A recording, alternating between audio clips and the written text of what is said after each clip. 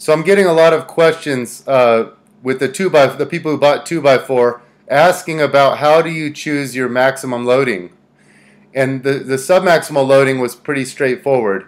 You're just going to go three sets of one to five reps depending on the week with between 60 and 80 percent of one rep max. That's for the technique work uh, with submaximal loading, but for the maximal loading, I was kind of vague, and so I wanted to film a video and explain this it's very hard for me to say, you know, do three sets of five with 85% of your one rep max or three sets of three with 90%. Percentages, as I, as I explain this in the book, percentages don't work for everyone. Maybe six out of 10 people, it'll be perfect for them, but the other four people, it'll be either too heavy or too light. Some people, it'll be impossible, and some people, it'll be so easy they don't get a training effect. So you have to figure this out uh, and and it probably has a lot to do with the composition of fast twitch versus slow twitch muscle fibers, but there are other factors as well. So I can, you know, while I could probably, you can use rep calculators that are available online to, to give you general estimates. Remember, you're repeating the first six weeks of the program, you're repeating this for three sets. So it's not what you can get for one set of five, it's what you can get for three sets of five.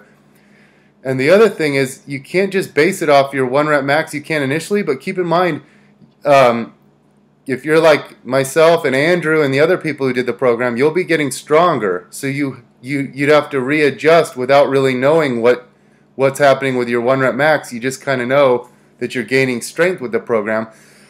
For example, you know when I did the block pull, the first time I did it, I wasn't as experienced with it, but throughout the the 14 week program, I got a lot better and more coordinated at the block pull. So my strength went way up.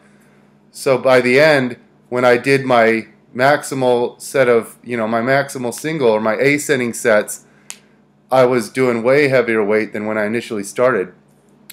But anyway, here's how you can go about it. Let's say you're on week one and you're doing the squat or the bench press or something like that, and you want to determine your three sets of five max. So maybe you you're going to do your dynamic warm up, and then maybe you're going to do you know the bar for 10 reps. Then you throw on a 45 pound plate. You do 135 for five reps. Then you throw on a 25 on each side. You do 185 for five reps. It's easy take the 25s off, put a 45 on each side. Now you're at 225 pounds. You do five reps and it's pretty hard. It's not, you know, you know you could probably get it for like eight, uh, but that's pretty close. So then you you say, okay, I need to get three sets of five. I know I could get it with 225, but I don't quite think I could get it with 245 pounds. So I'm going to put a five on each side and have 235 and then I'm going to go for three sets of five with that weight. And uh, and you know, hopefully you'll get it. If I recommend just sticking to the rep scheme. If you went too heavy and you only got say you got five on the first set, five on the second set, and then three or four on the third set. Well, then what I would do there is just kind of you can just make a note of it, or just say you know, you know, you could have gotten, you went 235. You know, if you would have done 230 pounds, you would have gotten it. So I would just kind of lie and just write on the record on the PR sheet 230 pounds.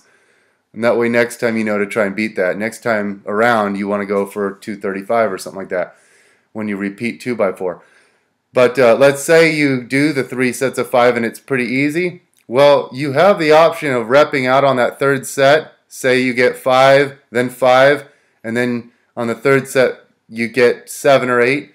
But keep in mind that you're training four days per week on this program, and you know, a couple days later you might have to hit a deadlift, a heavy deadlift or something like that. So you don't want to totally, you know, um, you don't want to overtax yourself. Keep in mind this is an accumulating program. Six weeks on, then a deload, then six weeks on, and then another deload week. So um, I hope that sheds some light on how to choose the PRs. Uh, you just kind of use use your knowledge of prior lifting to kind of guesstimate. Use warm up sets, and then at the end of the day, it's just a, a guess. But what's nice is the first time my first time running 2x4, I, I was, I've always been really good at, you know, figuring out what loads to use. So I, I felt all my PRs were very challenging. But my second time around, that's when I feel like I gained even more strength because um, then I had pretty challenging PRs that I had to beat. So you know, I had you know, you know when when when you're going for my I think my deadlift, uh, you know, three singles was like 515 for three singles, and I've got to beat that. So that's pretty daunting. But I did it the second time around, and I think you see better results the second time around when you re repeat 2 by 4 So I recommend doing it either twice back to back, or you could spread it out, do the 14 week program, wait a couple months, do it again. But I do recommend you do it two to three times a year, and you keep that. You'll have that PR sheet. So what's nice is that the next time you repeat it, you can look at your tracker sheet and say, okay, here's what I need to beat, and you will find that you do beat it. But also bear in mind, as I said earlier, you will be gaining strength. So you can't just go by percentages before you start the program because they will be scaling upwards throughout the program. Last thing to keep in mind, the first six weeks you're doing uh, straight sets. So three sets of five with the same load, three sets of three with the same load, three sets of one with the same load. Then you take a deload week, and then the next six weeks are ascending sets, meaning you're really just working your way up to a top set. So a maximal set of five, a maximal set of three, a maximal single. And what you'll find is you can generally do, you know, depending on your strength, maybe it's 20 more pounds with with the ascending set than you did with the three sets of five with the straight sets. Um, but you will be able to get, you know, your ascending sets will be stronger than the straight sets because you're only doing one maximal set, whereas with the straight sets you're repeating it twice, so you're doing three three total sets with that load. Okay, hope that answers your questions. Thanks for watching.